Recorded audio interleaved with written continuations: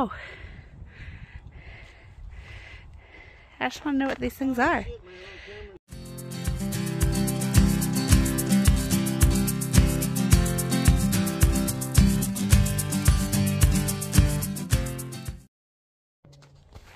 Good morning, it's day nine. Um, when we climbed out of Scissors Crossing last night up to a campsite, now we've got 12 miles to the next water source. Um, so I think that's where we're going to camp for the night. Should be a pretty easy day. Uh, trail doesn't look so bad on the map, so hopefully it's an easy 12 miles and just kind of cruise along up on these mountains and enjoy all of the plants and flowers that have been popping up everywhere.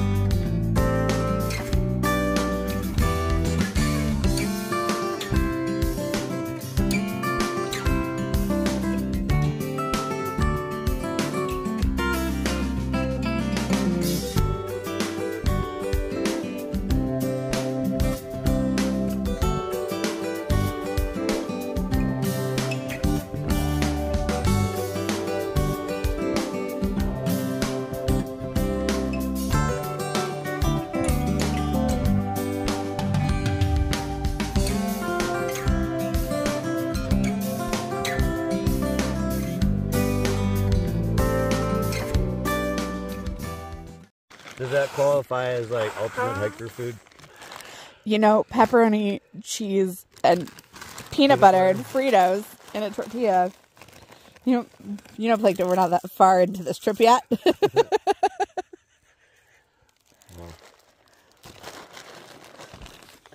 I want to master the culinary skills early.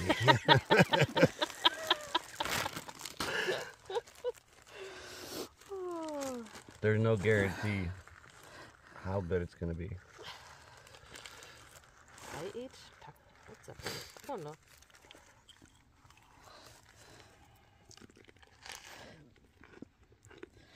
All right, how is it? You need a happy smile. Mm-hmm.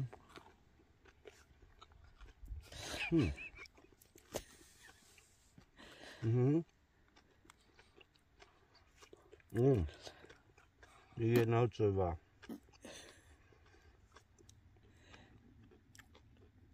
excuse me, notes of complexity here. All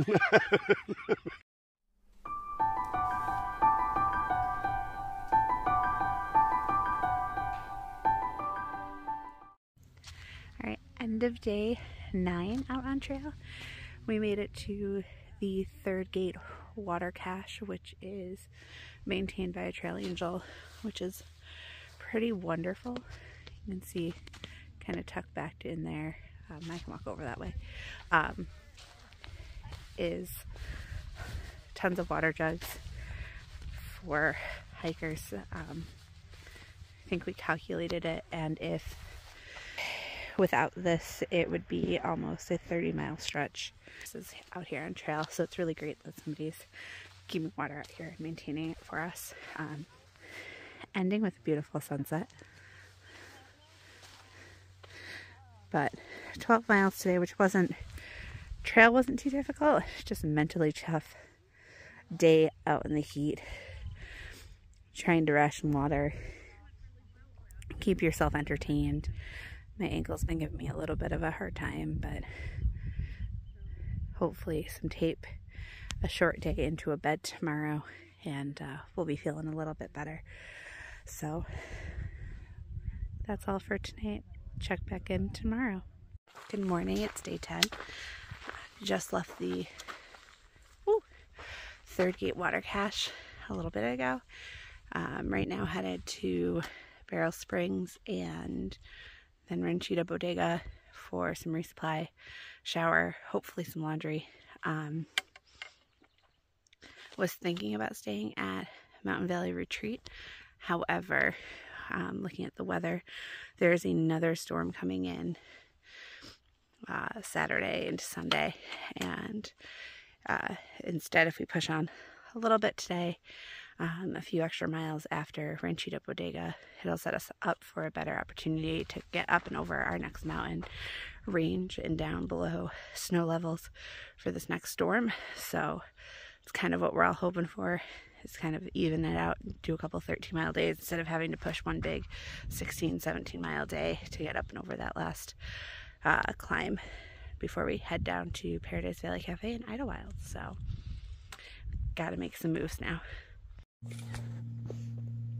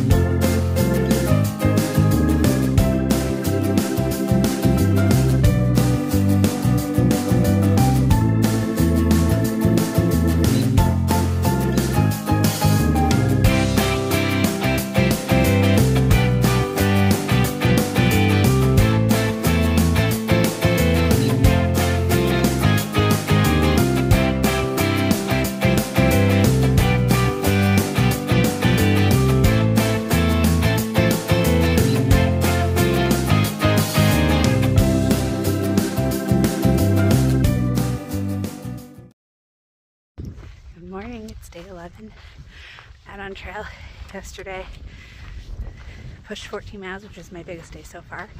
Today is going to be another 14 to 15 miles to camp. Um, I think I said in yesterday's video, we're trying to get up and over these next set of mountains before a snowstorm tomorrow. So we have to push a couple big mile days, which will be okay. Um, so just left camp, just about a mile in, about to come up on Eagle Rock, which is really exciting. Um, I have an appointment today with Dr. Morgan from Blaze Physio about my foot. I've been having some issues, so figured I'd make an appointment, try and take care of that now so it doesn't become a bigger issue later on. Um, but right now, that's kind of the morning update, so check in later. Yeah, her doing good today.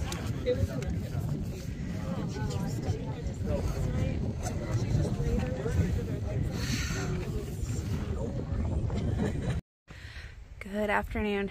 Just a little update before I keep going and pushing on for tonight. Um, I was able to meet with Blaze, Dr. Morgan, um, about my foot issues.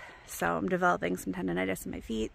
Um, she was able to get a hold of Trail Angel Ghost. Um, I'm very thankful that she was able to get a hold of him and give me some uh, heel inserts and some leukotape and gave me a video of how to tape up my foot to get me to Idyllwild. Um, hopefully a new pair of shoes once I get there. Sons of my ass there. Um, new pair of shoes when I get there and some rest, but right now just kind of pushing on and hoping for the best. Um, my trail family is camping 3.3 miles from here. It's already, it's almost 5 o'clock.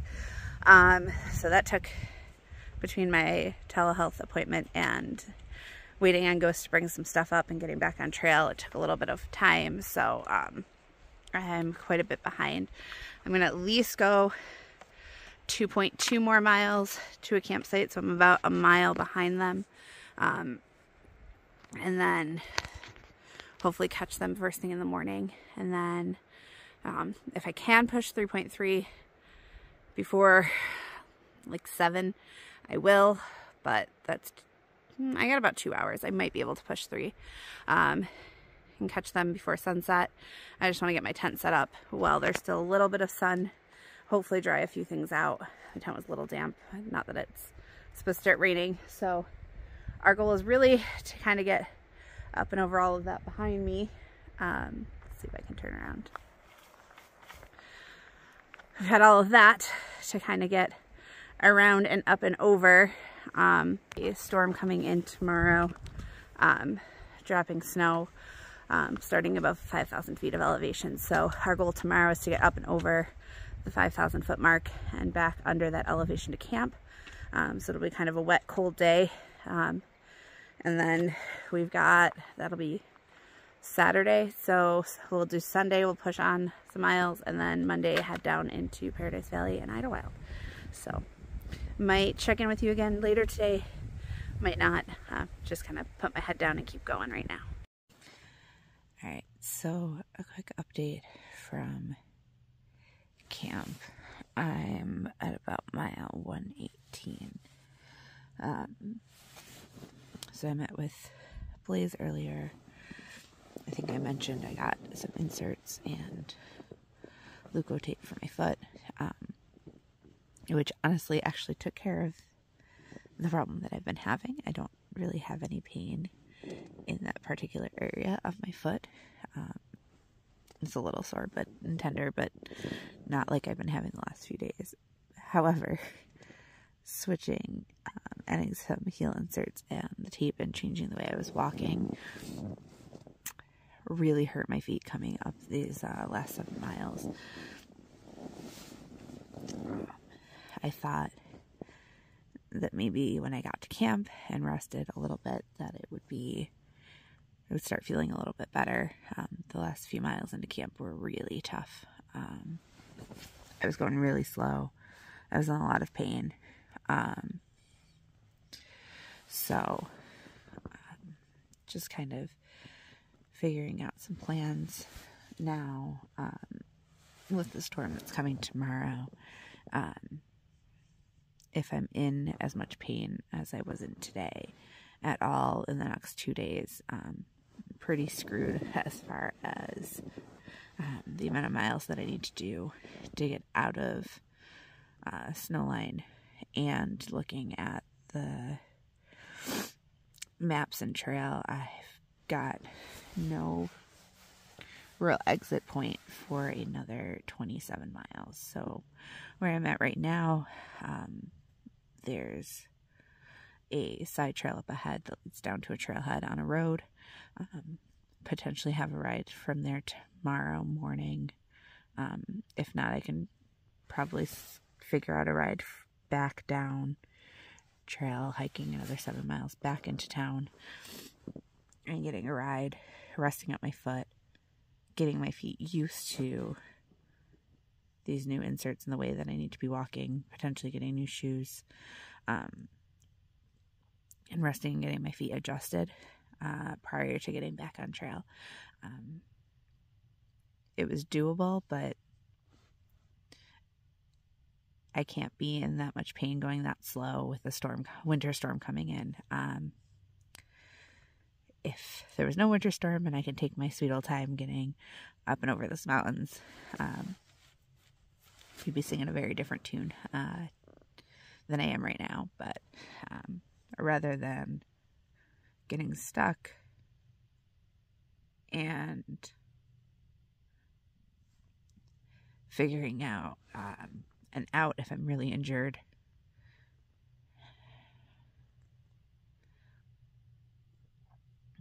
I'd rather make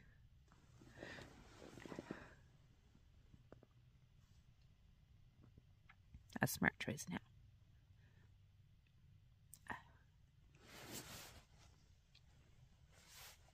Tomorrow's a new day. As we keep saying, it's all just part of the process. Good morning. It's day 12. What was a gorgeous sunset and views last night. Um, it's completely clouded in. I'm socked in here. Um, clouds are moving pretty fast through here. A little snow, a little wind, pretty wet and damp.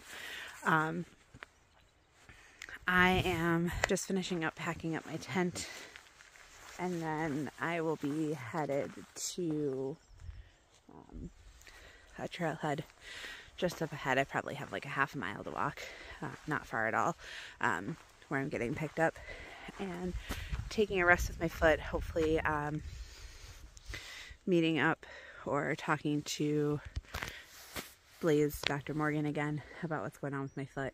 Um, coming up with some solutions, maybe some new shoes, getting my feet used to this adjustment of walking um, a different way and hopefully meeting back up with the group I've been hiking with um, either tomorrow or Sunday. So trying to figure all that out, but at least have a room for tonight and a ride out of here. So starting with that, check in later.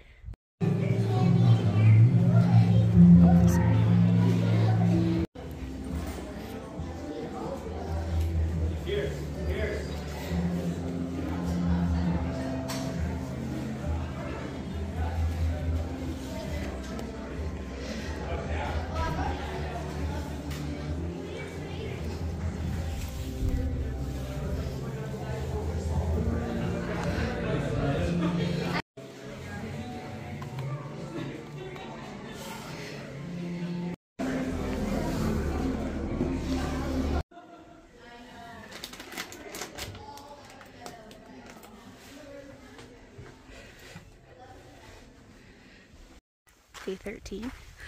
Um, got dropped off by my Uber, I think a mile back on the road.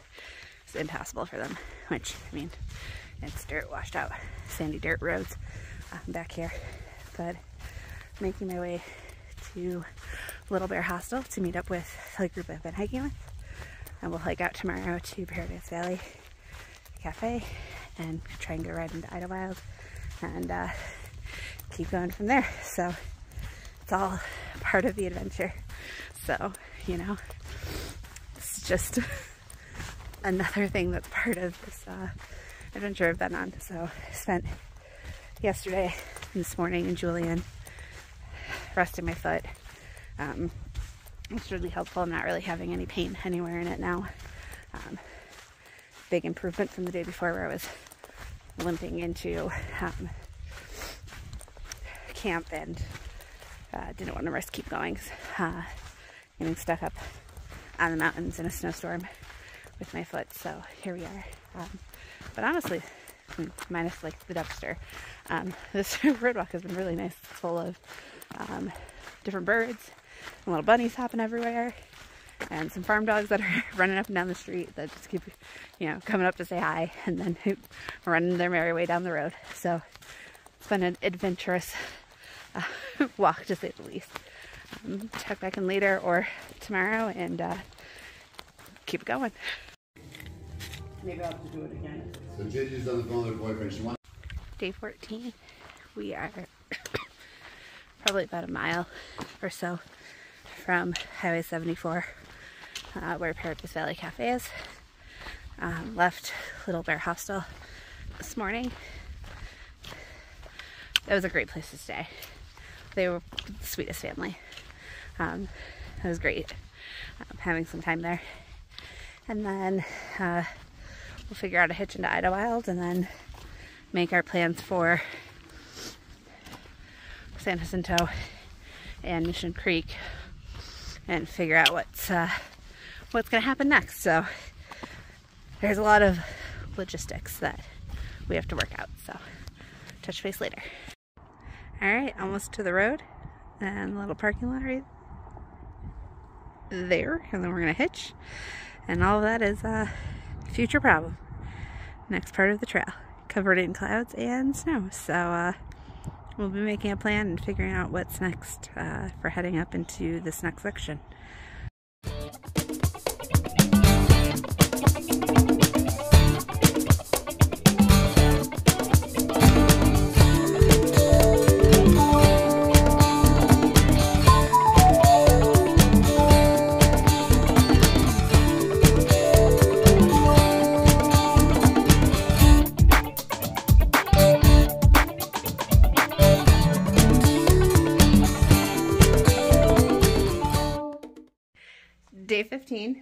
This is our first intentional zero.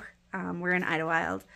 It's been great so far. We got in yesterday, um, staying at the Idyllwild Inn. Um, we had breakfast, coffee, breakfast. We've been running errands all afternoon, morning and afternoon. Um, so we've made our plan for the next section. After talking to locals and kind of looking at trail reports and things like that, we're skipping from here up to Big Bear and then we'll keep heading north from there. Um, you know, if we get to the Sierras early, we figure we maybe we can come back down here and do the section um, around San Jacinto. Um, but just think safety wise, with another storm coming on Friday, Thursday night into Friday, you know, we don't have the knowledge um, to really be successful up on the mountain and as a group, as a collective. Um, so, yeah. But while I'm here, I can also show you what uh, an exploded uh, hiker room kind of looks like. Um, this is not just my stuff, but also to other people whose um, room for tonight isn't available until later this afternoon. Um, laundry bag of wash and laundry uh, that we dropped off at the hotel, bags of bags of resupply and food and everything scattered kind of everywhere. So, um, but the room is really nice. It's been great. So, uh, it's, you know, doing pretty all right. Um, probably won't check in again today unless something really exciting happens. Um, but we'll be checking in at the very least tomorrow at some point. So